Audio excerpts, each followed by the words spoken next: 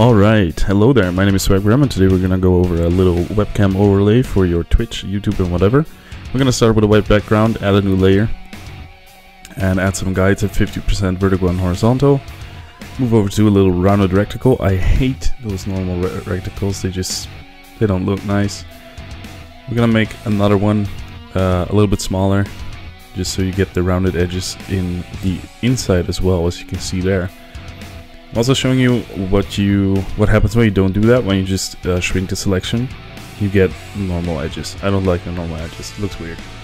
So we're gonna go over there again, little rounded edges. Let's go.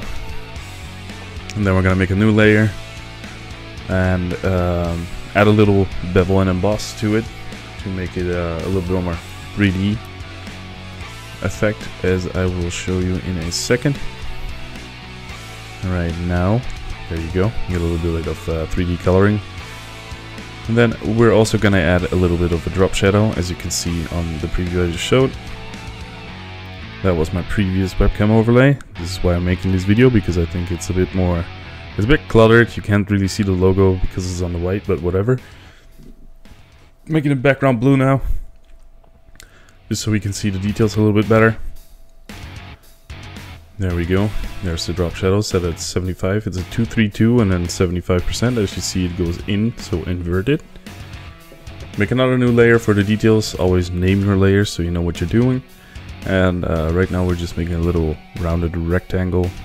Uh, coloring it green because of uh, like a little bit of the monster logo to be honest.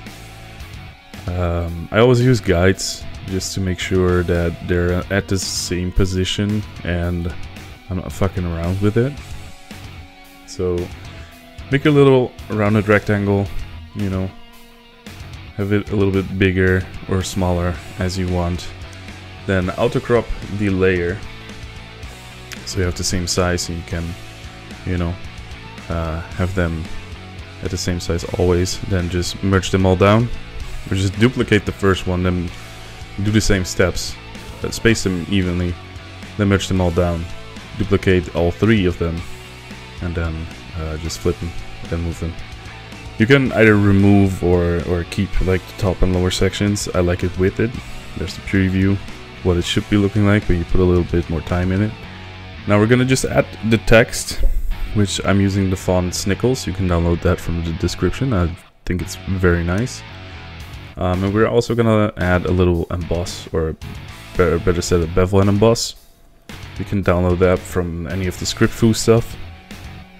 Um, and it adds like a little more shadow, like a bit more 3D-ish to it. I'm gonna Alpha to selection, create a new layer, make that black, grow it, make it black again, and just uh, set it underneath the white layer. So you have a little bit of a 3D effect.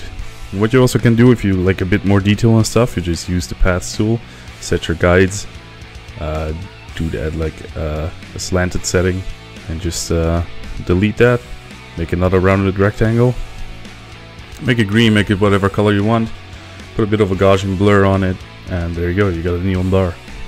You can do that you don't have to. I personally don't like it anymore. I like it like this. Uh, like I will show you in the preview. There you go. There's your new webcam overlay